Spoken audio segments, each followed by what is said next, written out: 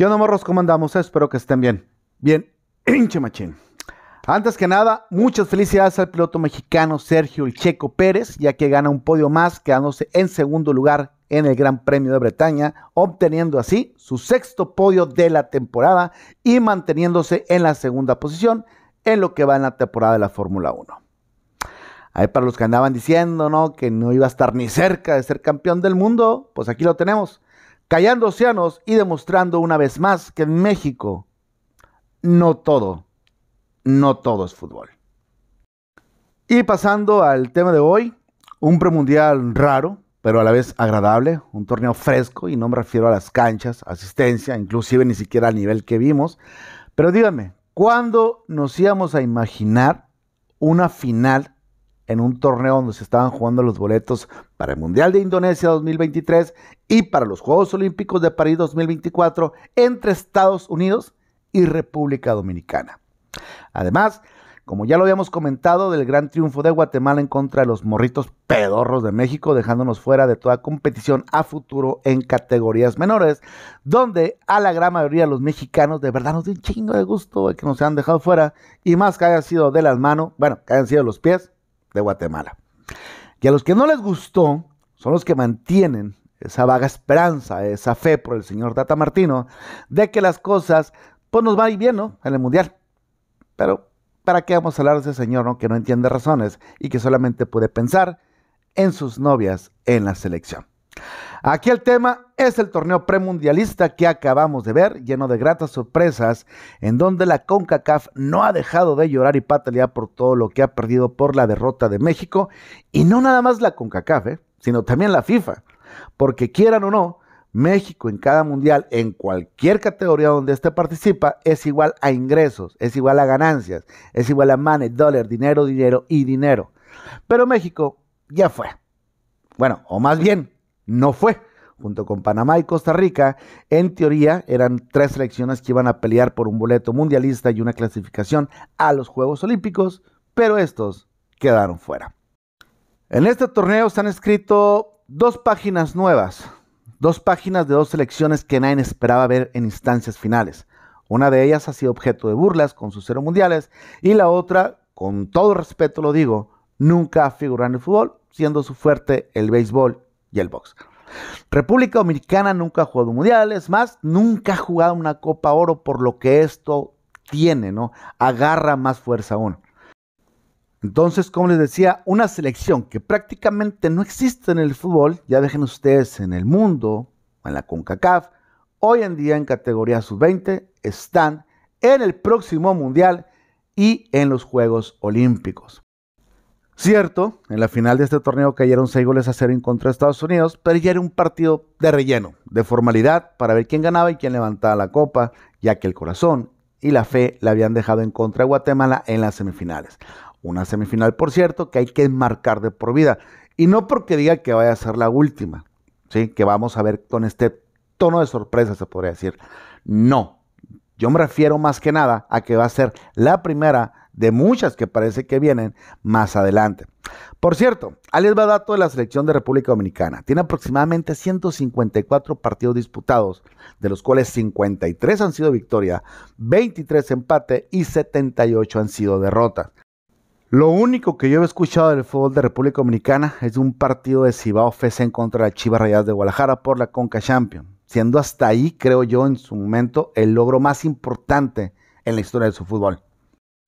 Entonces, esa selección con tan poca o casi nada historia en el tema futbolístico eliminó en penales a la otra sorpresa de este certamen, a la otra cenicienta, Guatemala, donde unos días antes los chapines habían dejado fuera nada más y nada menos que al super seleccionado de México.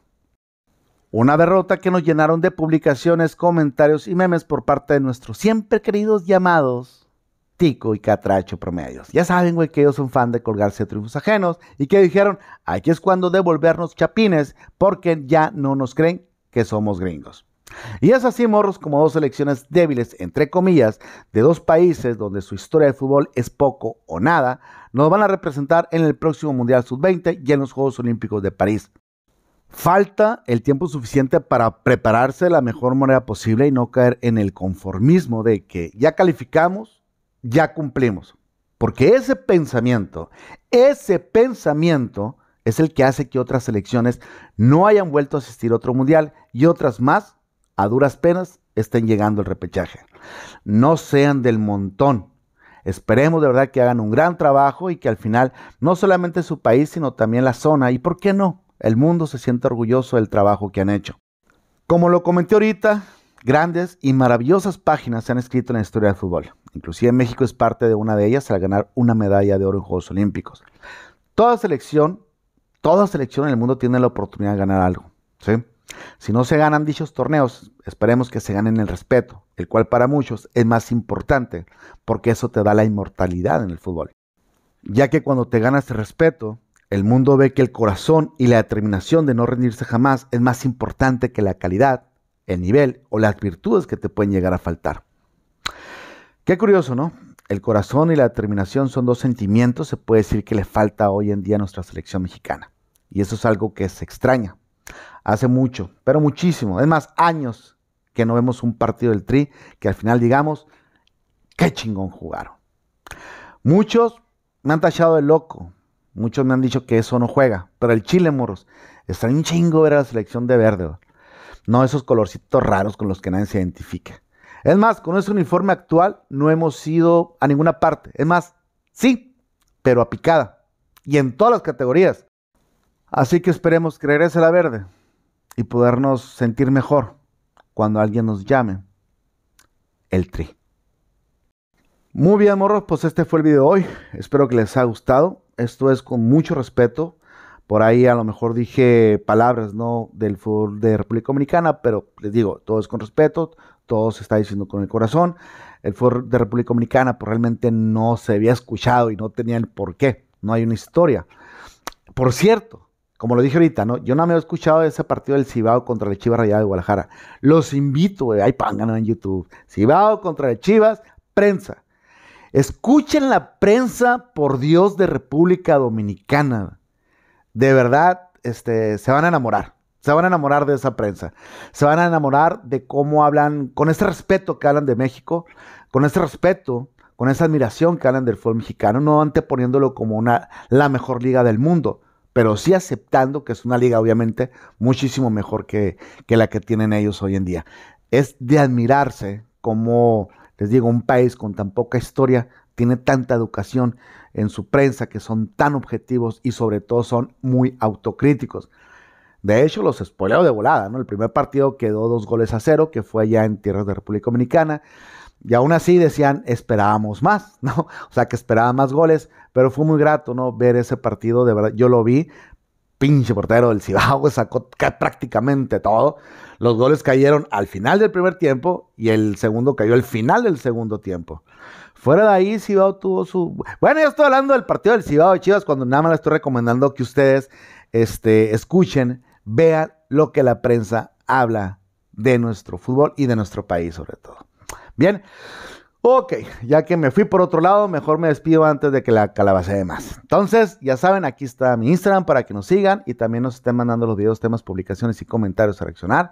Si el video les gustó, no olviden suscribirse, darle like y compartir. En la caja de descripción vamos a estar dejando enlace de mi otro canal.